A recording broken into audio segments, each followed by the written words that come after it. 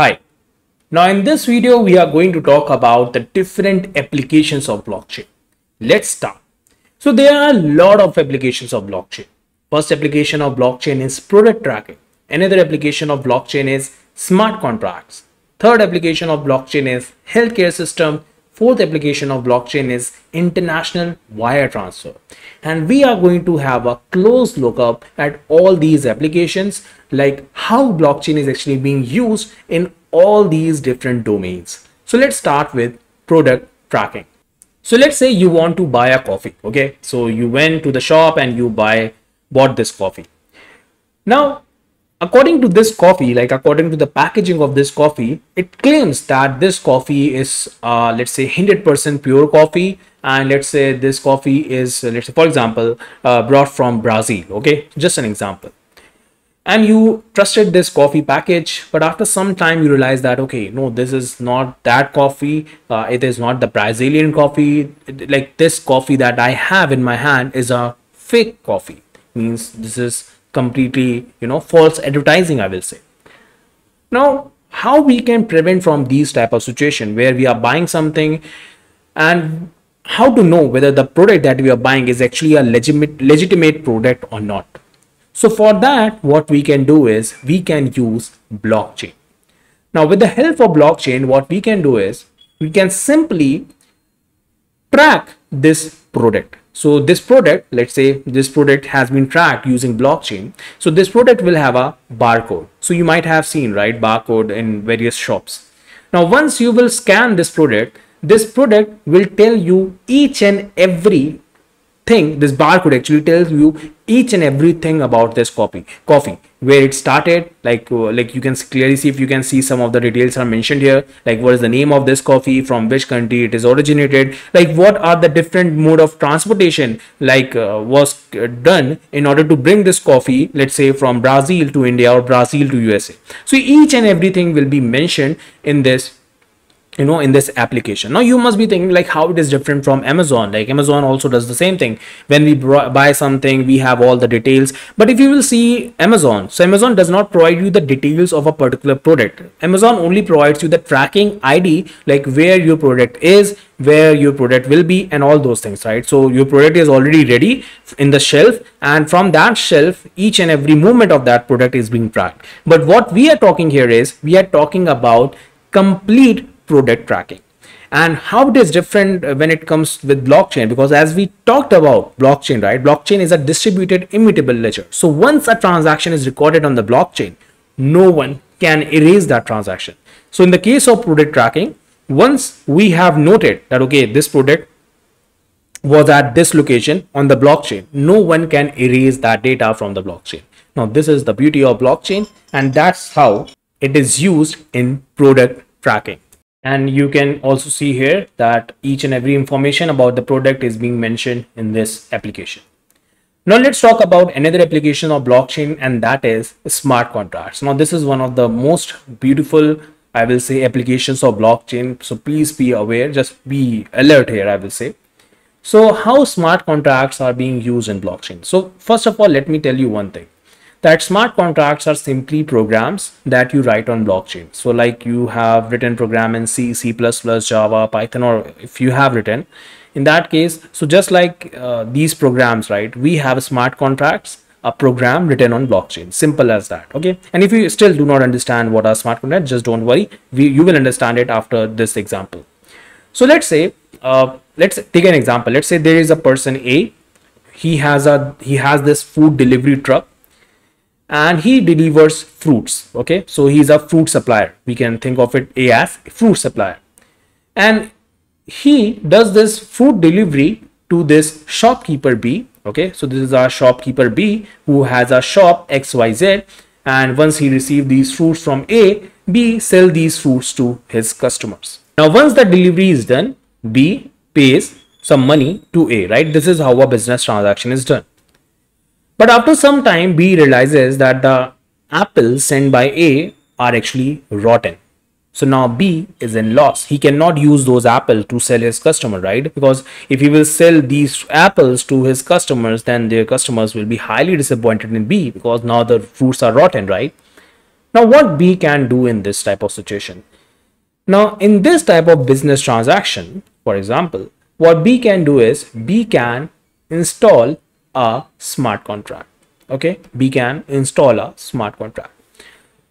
And we are assuming that the temperature to keep the fruits fresh is less than 30 degrees Celsius. So this delivery truck, you can think of this delivery truck as a refrigerated truck. Okay, this this uh, this container that you're seeing right where delivery is written it is actually a fridge okay we are just assuming that this is a refrigerated truck and the temperature in order to keep these apples fruits apple fruit apple fresh actually is less than 30 degrees celsius okay so this is our assumption now let's write some logic to our smart contract because smart contracts are nothing but programs right so we will draw a flow chart here that if IoT detected a temperature greater than 30 degrees Celsius. Now, what is this IoT? IoT is for now you can think of as temperature detecting device. So they detect the temperature. So we are assuming that this IoT is installed to that container of the truck.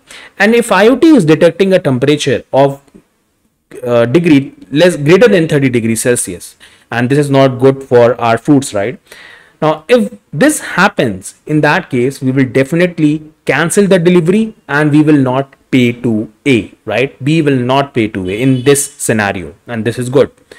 If this is false, if this condition is false, in that case, delivery will be done and B will B have to pay to A means B cannot then deny that I can I will not pay to A because now I have received the fruits and I do not want to pay to A. This is not how this will be done when it will come to smart contracts.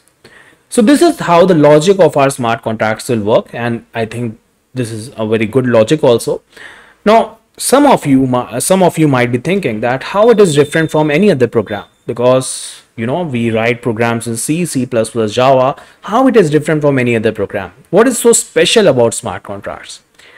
The special thing about smart contracts is that smart contracts are actually immutable in nature just like blockchain you cannot erase the data from blockchain right? So this is smart contract will be deployed to the blockchain and you cannot change anything from the smart contract once it is deployed to the blockchain. Now this is one of the beauty of smart contracts. Means once this logic is written no one can erase this logic. First thing Second thing with the smart contract is that you do not require any human intervention. Means when I'm saying that if the temperature is uh, detected is greater than 30 degrees Celsius, the, if this condition is let's say false, then we are transferring money to A, right? So in this case, money will be actually cryptocurrency. So these cryptocurrencies will be transferred from smart contract balance to A's account. Now, there is something very, I think, a little bit complicated to explain currently because currently we are just progressing towards our blockchain codes. For now, just assume that smart contract is acting as a bank where some cryptocurrency is deposited. If this condition will be false, in that case, cryptocurrencies from a smart contract account will be deducted and will be transferred to A. And who has transferred this cryptocurrencies to smart contract account? And that is, that is actually being done by B. Okay. And we will see this in more detail in our smart contract module. But for now, I think this makes sense to you also, right? So this is also one of the applications of blockchain. Now let's see the third application of blockchain that is in international wire transfer. So let's say you want to send some money to one of your friend. Okay. So you went to your bank, sender bank, and you want to transfer some money to your friend. But in order to transfer this money to your friend, which let's say lives in USA, let's say you are living in India and you want to transfer this money to USA. This transfer of money cannot be directly done to USA. Means if this is a Bank of India, you cannot transfer this money directly to USA so let's say if this is our bank in USA, this is our receiver bank because your friend is in USA, you cannot transfer this money directly to this bank. There will be so many banks in the middle of this change between the sender bank and between the receiver bank. Now the problem with this approach is you have to pay a huge amount of commission to these banks in order to do a international transaction. So let's say, and this international transaction uh, fees can be around 10 to 25 percent just it can be 10 to 25 percent. So let's say if you are sending one thousand dollars to your friend for example one thousand dollars to your friend in that case if the uh, percentage is let's say 10 percent then hundred dollars will be deducted and your friend will only receive 900 dollars. And the reason is because there are so many banks involved here so they charge some commission. Now this is a very heavy commission right now if you are going to use blockchain in this case yeah and one more thing yes one more thing that this process can be a slow process. It can take two or three days. Definitely it can be less than that but it can take up to seven days also seven to ten days also because let's say there are banks that are involved within these two banks they are slow they are working very slowly. In that case definitely your transaction will take a huge amount of time and then your friend let's say might receive the money after 10 days of the transactions you know this is a very slow process right? So what you can do is instead of this instead of going like this what you can do is you can do transaction on blockchain. Now transactions on blockchain are uh, very fast. It took around let's say you are doing some international transaction it will take around some minutes and your transaction will be done. And top of that that transaction fees will be very less so that's also one of the beauty of blockchain. So we have cryptocurrencies which we will discuss in much more detail in our cryptocurrency module. So cryptocurrencies these cryptocurrencies you can transfer from one place to another in so much time like in less time and in so much less amount of transaction fees. Now let us look at fourth application of blockchain that is in healthcare system. So normally uh, let's say if there are two hospitals in city a and city b okay and let's say uh, you are born in city a so all of your medical history is actually stored in the database of city a right since you are born in city A, so all your medical history documents, each and everything is actually stored in the database of your city A hospital, right? It can happen. Now, the problem in this approach is that let's say you went to city B for some work, okay, and you met with an accident. Now, in that case, what will happen? In that case, city B does not have your medical history now, in order to fetch your medical history, they need to call your parents or let's say they have to talk to different hospitals because they do not know you might definitely, they will not call to hospitals until, until they will call to your family, right? So your family will then go to the hospital of city A and then they will fetch your records, medical history, and then they will provide to city B, right? Because you can have different type of diseases. Let's say you might have some sugar or some diabetes, or let's say you have some like, you know, life threatening type of disease now in that case, city B needs to check your medical history before, before doing any type of procedure or it might be too late for you to survive from that accident, right? So this is a problematic thing, right? So with the help of blockchain, what we can do is we can share this data. Definitely do not think that blockchain is a centralized database here. This is just for representation. What you can do is you can share your information, your medical history on the blockchain and you can provide access to anyone who wants to have a look on that data. So let's say you have a key and you have locked that key on the blockchain. And the beauty of blockchain is that once your data is there it is there. So it will not be erased or manipulated. It will always be there. And let's say in the case of prices you can transfer your keys to uh, let's say in this case city B and city B then can go and unlock your medical history documents and can see your data and can provide you a good uh, I will say good treatment right? So that you can recover fast. So this is also one of the applications of blockchain and this is also getting so much I will say popular. And I think in near future we are going to see this a lot okay? So we discussed four applications of blockchain right? In the international wire system healthcare system, smart contracts, and product tracking, right?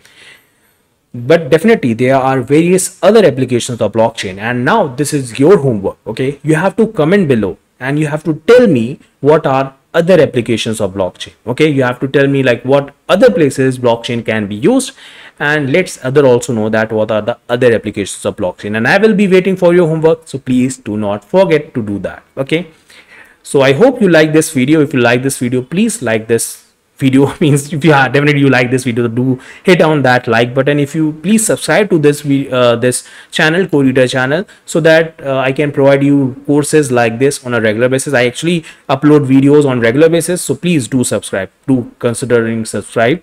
And then if you want to talk to me directly about blockchain you can directly contact me at codeeater21 instagram id you can directly go there. Or else if you want to join our discord community where 2000 plus blockchain developers are already present you can join the discord community. Link is given in the description. You can directly solve your doubts ask your doubts over the blockchain developer community. So i hope you enjoyed this video. Meet you soon in the next video. Bye bye